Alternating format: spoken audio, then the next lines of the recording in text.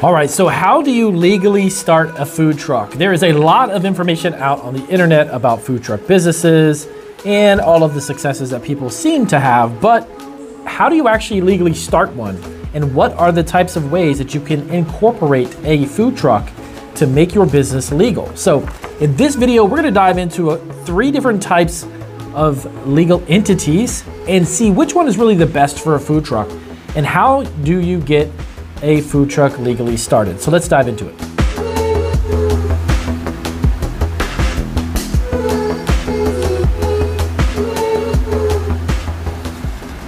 All right, so let's get right into it. Welcome to Food Truck Freeks.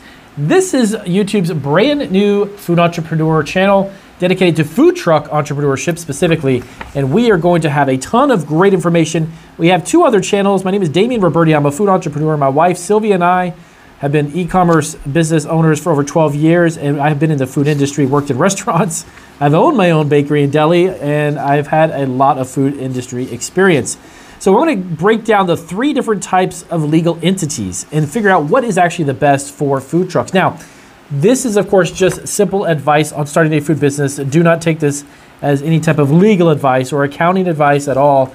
I'm just going to break down some information that I'm very familiar with. You can do your due diligence and find out what works best for you. Now, entrepreneurs who want to start food truck businesses should consider incorporating their company before beginning their operations. Now, the following are some of the most popular legal structures for this type of mobile food truck business.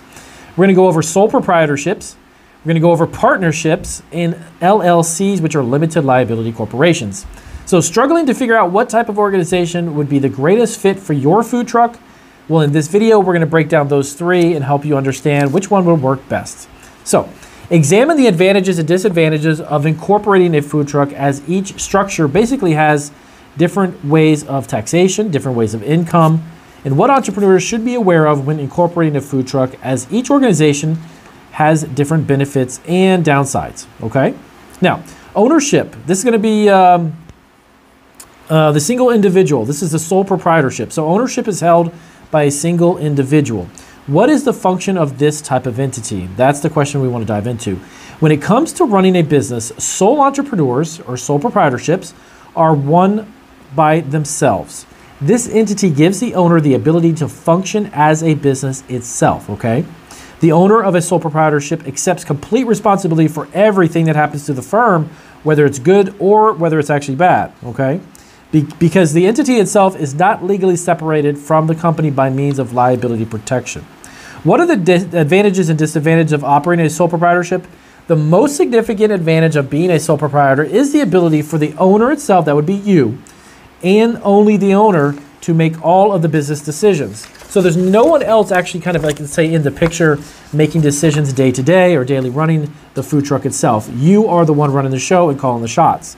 Now, it is possible that a sole proprietorship will be the appropriate entity structure for a food truck if, now this is pay attention to this part, if you intend to operate it on your own and exercise entire control over it. So that means, you know, down the road, of course, you can change this entity status. Nothing is in stone, but as a sole proprietorship, you got to keep in mind you're the one running the show. Plus, you're taking out a lot of the liabilities too. Now, the disadvantages of creating a sole proprietorship is that there is no protection against responsibility. As we had previously mentioned before, the owner is liable for everything that occurs in the business, both good and bad. So, do you remember what I said about this earlier? That is still the case now. The owner is responsible for anything that happens to the food truck, including debts, okay, or mishaps, such as accidentally, let's say, burning yourself, or if you're fall on the floor for some apparent reason and hurt yourself you can't obviously sue yourself. You're going to be responsible for everything that goes on. Now, what information should I be aware of when incorporating as a sole proprietor? This organization is one of the most straightforward methods to incorporate a food truck into your business. So, incorporating as a sole proprietorship is a cost effective option also if you're on a budget. Now, which of course many of us are. When I started my food business, of course, I didn't have a million dollars at my disposal, so you had to work with what you had. The application process is actually pretty simple and there's just a little price that must be paid to submit that type of application. So don't forget to apply for any necessary business license and permits that will allow you to operate your food truck and function. And co- of course, we got to remain compliant with the local food truck laws. Now, partnership. what is the function of this type of entity? Partnerships are a very self explanatory type of business structure.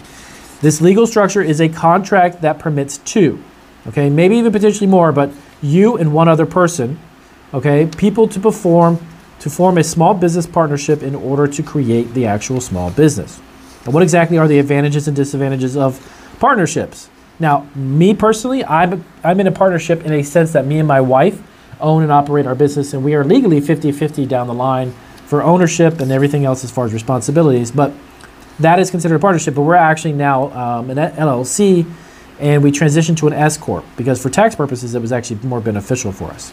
So, making a partnership is an excellent option for entrepreneur friends or family members who want to start a company in conjunction with one another. Okay? So, if you've always wanted to create a food truck and a food truck, mobile food truck business is what you want to do, let's say with a friend, it's likely that you would explore forming a partnership to accomplish that goal. Okay? So, the entity actually enables the co founders, which would be you and one other person, to share in the company's revenues and, of course, losses, while also working together to support the company. All right? So, as a part of working together as a partnership, if it is necessary to make decisions as a group, it is possible that partners will not always agree with one another. This kind of is, makes it difficult to make judgments in some situations that you got to be aware of, okay? When making decisions with your spouse, which like what we do, Remember that each person is responsible for their actions, so make sure that you have express approval of both partners before proceeding. Now, what information should I be aware of while I form a partnership? Much of the process for forming a partnership is similar to the process of incorporating as any other entity. You must file an application and, of course, pay a fee to do that. Following the, following the formation of your food truck partnership, it is highly advised that you draft a written partnership agreement to protect both parties' interests. Now, if you're husband and wife, you may or may not want to do that because you're obviously you're already legally bound together. But if you're doing a partnership with a friend or family, make sure that you spell out what everyone's responsibility is and their stake in the business. Now, LLCs, limited liability corporations.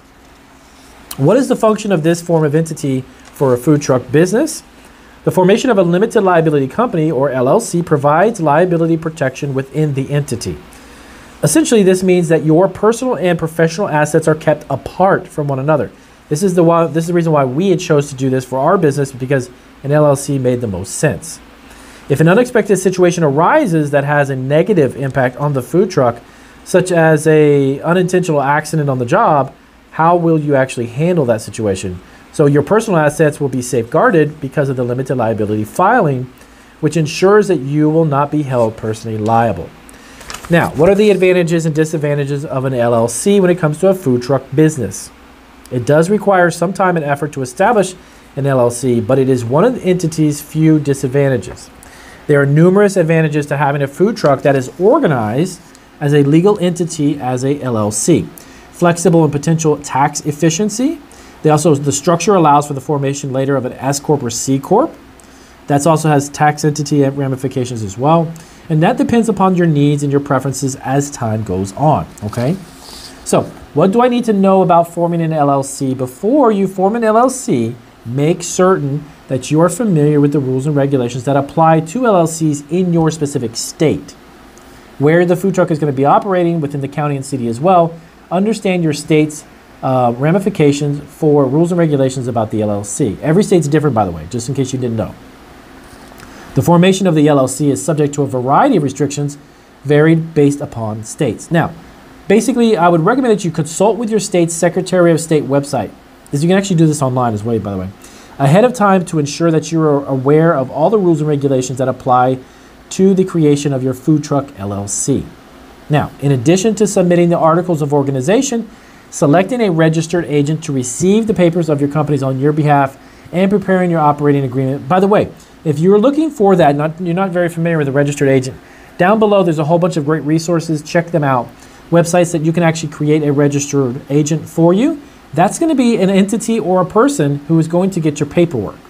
Any legal paperwork or documentation will be for that specific reason. Okay, so in addition to submitting articles of organization, that registered agent will receive any legal bits of information on your behalf. Okay? Now, what happens if you decide to take your food truck to the next level and branch out into include a multitude of food trucks all over the country? Because an LLC is not a publicly traded structure, you should consider changing your organization structure to a C Corp. So, down the road, if you're looking to create multiple food trucks in other states, definitely take a look at doing that as a C Corp, okay?